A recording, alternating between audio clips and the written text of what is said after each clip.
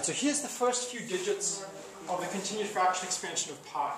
So this means pi is equal to 3 plus 1 over 7 plus 1 over, let me just make sure I'm doing this correctly.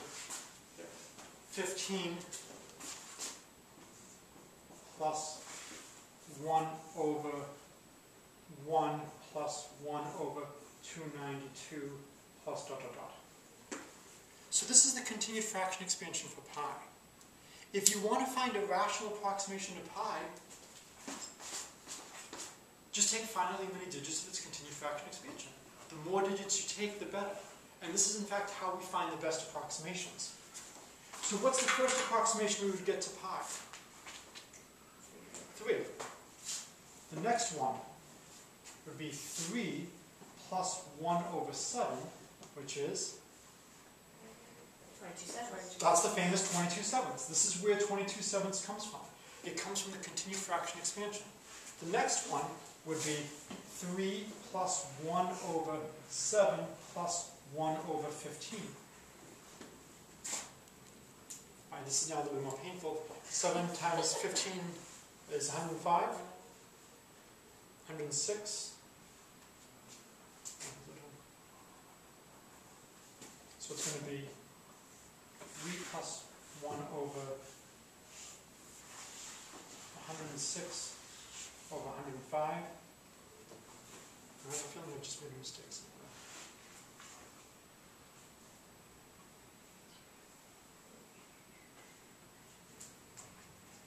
Alright, so this is then same as 105. No, over 50, over 50. Over 15, okay, good, there we go. There we go, that's better. Over 15.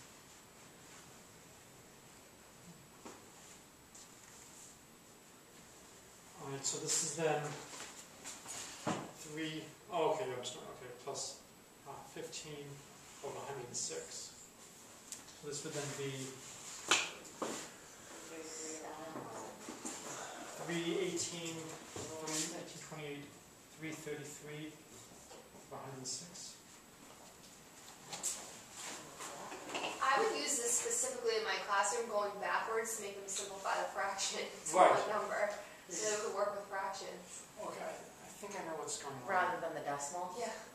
No, just we're learning Like how to learning like how to get simplify. that big fraction Okay. from all those little ones. Okay, I, I think The I- fractions and the was fraction and the awful, fraction, yeah. yeah. Okay, I I think I see what's going on. Okay, Why? this, this gives you three point one four one five one. Why use the decimal over the fraction? I mean, I Well, guess well- there's no real fraction for these. Well, I mean, th- there is no pattern to pi, there is no finite truncation. It just goes on and on and on. But just like we simplify three point one four, shouldn't we say three hundred thirty-three over one oh six? I guess could. we use twenty-two over seven. could. 22 sevenths. Yeah. But It's- again, it's just- depends That what makes you're gonna do with sense. it. If you're Right. using fractions, use 22 sevenths. If you're using decimals, Right. sometimes they put one four is easier. Kids like to tell me that twenty-two seven. If you're doing my math. The reason this was surprising me is the next digit after the fifteen is a one. So if we were to go one digit further, it would be fifteen plus one over one. So really, it's no more work to approximate it with seven plus one sixteenth. I'm saying the next digit here is a one. That's why I wasn't recognizing this expansion. Nobody ever stops it, they always just add the one. So if we did the sixteen over here, so we would have to add another seven. You like, you're skipping a step. So one. Well, I'm saying, well, I'm saying, uh, I- I'm not gonna stop over here because the next one is just a plus one. I might as well just go one step further. Mm-hmm. And then that will get us the, I think, three thirty, the three fifty-five over one thirteen that we had before. That does an even better job. Oh, so it's- okay. So every time you take another digit, you get a much better approximation. And in fact, if you notice, there's a huge number here, two ninety-two. What that means is if you stop right after there, it's an incredibly accurate approximation to pi. So if you go down to that far and just unwind what fraction you get, it's phenomenally accurate.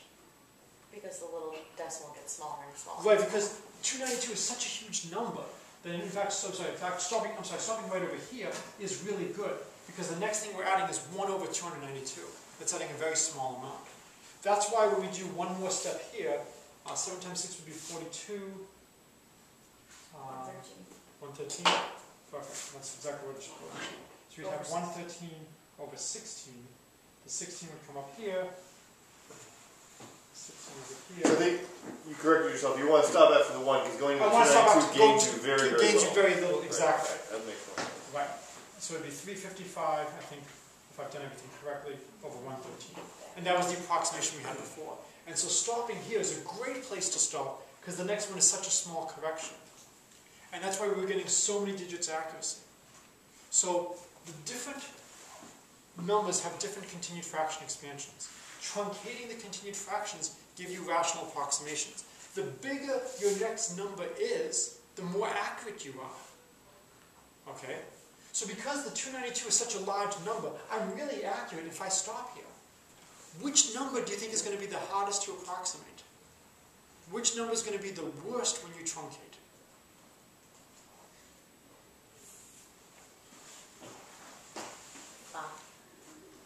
So I need, the large one. When you stop at the fifteen, if we did our math correctly, it's not a very good approximation at all.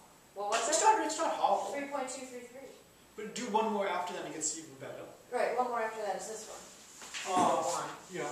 But, But but 22 over the seven is Twenty-two better. sevens is better than the, Wait, was 27's better? yeah, What is the one between twenty-two sevens and three fifty-five point three, one thirteen? What was that one? three thirty-three over one oh six. Why would that, see, that doesn't make, that doesn't make sense though. That it's good, good, bad, um, good. No, it, it does because you can be overshooting and undershooting. You can be approximating to something from above and below.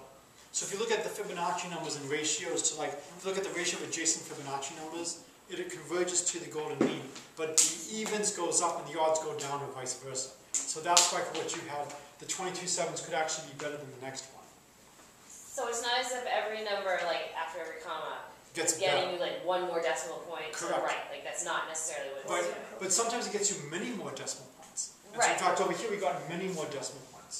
But when you go from the one to the two ninety-two, like, is it even taking you further to the right, like, towards, do you know what I mean, like, within the decimals? Um, I mean, if you add the 292, it'll, I believe it'll be, a, it might be a little bit more accurate. Yeah.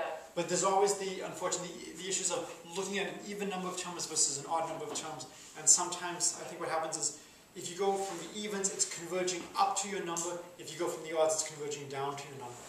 And so, really, to be safe, you should compare every two. Okay. But so, the reason that, you know, truncating here and 355 over 113 is such a good approximation is 292 is a very large number. The larger my number is, the better the truncation right before it is.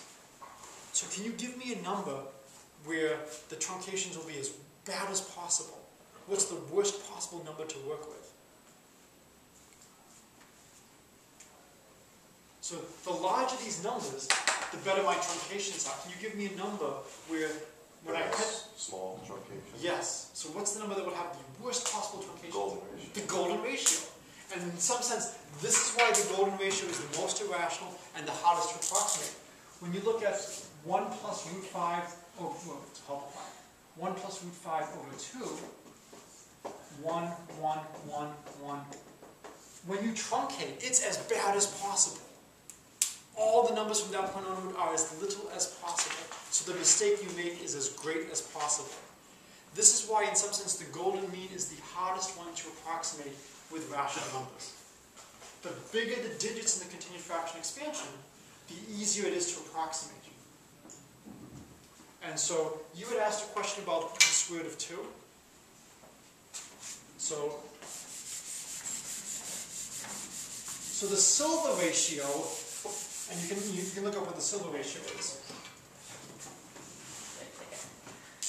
So, let's say x equals 1 plus the square root of 2.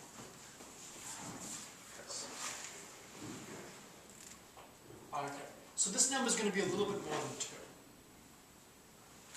And so the question is, you know, how do I write down a nice equation of this size?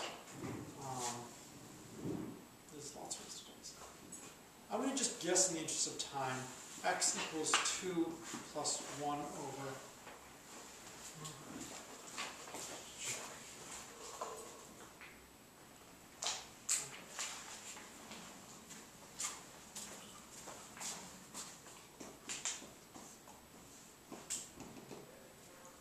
So let's look at this number. And so if I look at this number, I get x equals 2 plus 1 over x. So I get x squared equals 2x plus 1, x squared minus 2x minus 1 equals 0, x equals negative b plus or minus the square root, well we know we're not going to put the negative sign, b squared minus 4ac becomes plus 4 all over 2. Can I ask you just a fundamental Yep. question? Yep. The minus, why are we using the minus? 'Cause Well, if I put in a minus, sign, I'm going to get a Because- negative number. And we wanna get a bigger, Well, I mean, I, I know, I know, I know x is supposed to equal this positive number. So if you use a subtraction, you're getting a negative number. Right. When you do algebra like this, you can always introduce phantom roots. So if I want to solve, as an aside, if I want to solve um, x equals negative 1, so one possibility is I could square both sides and get x squared equals 1. I can then do x, mi x squared minus 1 equals 0. I can factor that as x minus 1, x plus 1 equals 0. And I can conclude that if x equals negative 1, the two solutions to that are x equals 1 and x equals negative 1. Are clearly, if x equals negative 1, x does not equal one. 1. But what happens is when I square things, I introduce an extra root. When I multiply through by x here, I introduce a possible extra root. And so now when I get this, this is the square root of 8. The square root of 8 is 2 root 2. When I cancel the 2's, I get 1 plus the square root of 2. And so this is the silver ratio. And so it's been a while since I've looked at the silver ratio. So Wikipedia says it's an irrational mathematical constant. Um, When does it get used? so uh, that's what I'm looking at right now. Um, You, you talk about Wikipedia a lot. yeah. I thought it wasn't like the best thing to. If you want to do anything political, I would stay away from Wikipedia because it depends on the time of day. Okay. But I felt like anybody can post anything to Wikipedia. Yes. Right? Yes. So people could, I could go on there and start You could, absolutely math, could. anything like that. Somebody would fix it And somebody would fix it. seconds. Yeah. So It's people amazing. go in and like change stuff. The mathematics section is extremely important. The other thing you should do is use their sources as your sources. Why? Yes. Part of hmm? the project. Use whatever sources they list as a source instead of using Wikipedia as a source. Take it So down. go to that source. Who took it down? Was it wrong? People like sit and look for on it. Or just when people are going to a page they need, they'll find something and they'll fix it. And so Wikipedia Math is very good. And I have no problems giving my students links to Wikipedia Math. I would But you not, could look at something one minute, it could be changed. two it could, and that's one of the difficulties in terms of when you do references. Do you put a reference to Wikipedia? And I'm always torn because I, I try to put references to Wikipedia because it's a real aid to me when I'm looking things up. But at the advanced level, if they're following through the math, Yeah. hopefully they'll find one of those errors. Well, when I was writing um, a textbook in number theory, I found a proof online of the transcendence of pi. You know, it's a certain type of irrationality. And on that same page, I also found a proof of Fermat's last theorem in four pages. And so the proof of Fermat's last theorem was wrong, but I could check the argument they were giving for the transcendence of pi. It was the standard argument, it was correct. And so at some point, you can't be the mindless, you know, robot following these things. But in terms of trying to see how irrational numbers are, if you have all ones from some point onward, um, you're the golden mean, or you're a simple tweak of the golden mean. You could also do like 1, 1, 2, 1, 1, 2, 1, 1, 2, or 1, 2, 1, 2, 1. You could do stuff like that.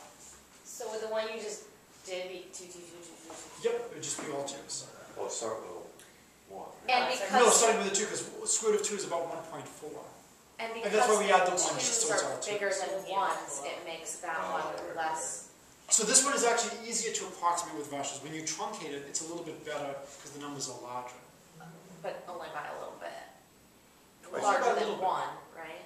So is there a bronze ratio that's 3, 3,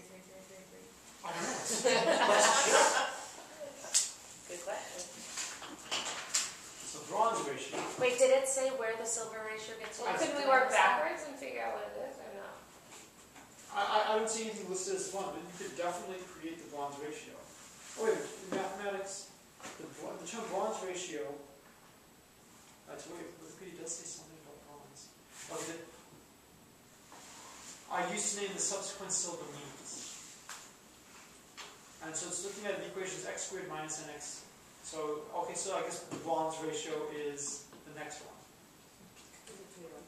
And you can go all the way down to ten and then eventually the uranium ratio. So what is the bronze rate? It would be three, three, three, Right. three, three, but what does it look like? See how, like, the silver one's one plus square root of two, right? Right. So what was the, So all that would change is this two would become a three.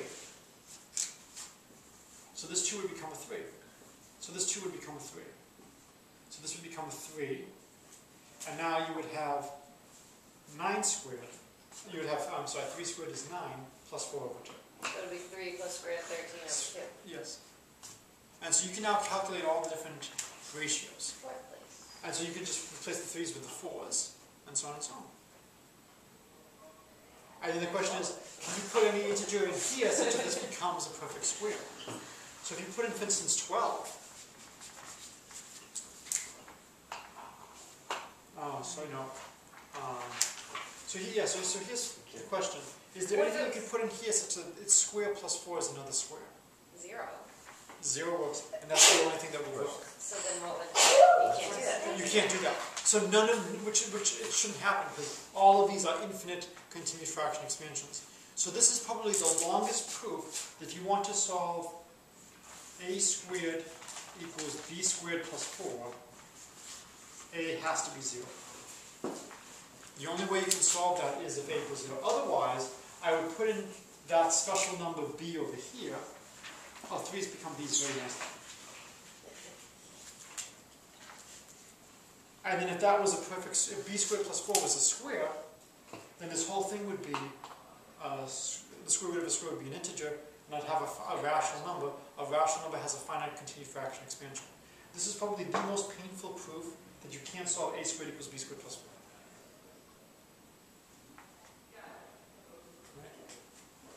But if, it, you know, it would violate the fact that the only continued fractions that are finite are the rational numbers. And so this becomes a really good way to analyze you know, structures of numbers. And so in a lot of the work I do, maybe we'll make this the last topic, you know, I do work on Benford's law of digit bias. How many of you have heard of Benford's law of digit bias? It's law, I don't know what it's about. So let's take the Fibonacci numbers, and let's say you have to go to a school committee meeting, you know, later, and for once you actually get bored. So you start writing down. Just it could happen. And so you decide to start recording how many of the Fibonacci numbers start with the first digit of 1, how many start with the first digit of 2, how many start with the first digit of 3. If you had to guess, what fraction of the time do you think a Fibonacci number starts with a 1? what do you think the most reasonable answer is? I don't care if it's right, I just think, well, what's the most reasonable thing to do? One tenth. One tenth. Then you realize you're being a moron, and it can't be one tenth. Why one tenth? Can't start with zero. Can't start with zero. One ninth. So you, so you correct from one tenth to one ninth.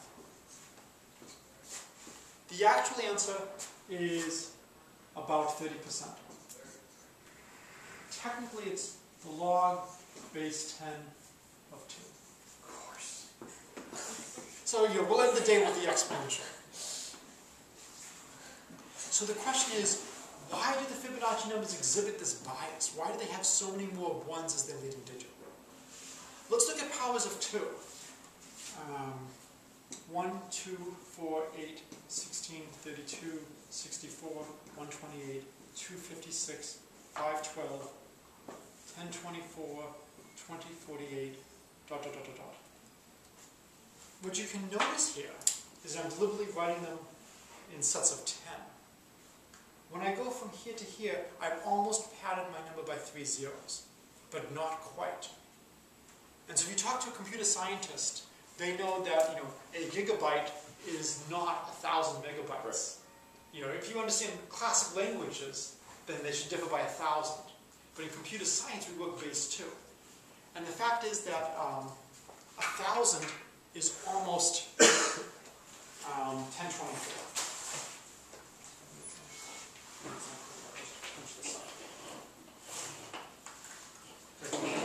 I've got the slides, you can show this much faster than just doing them.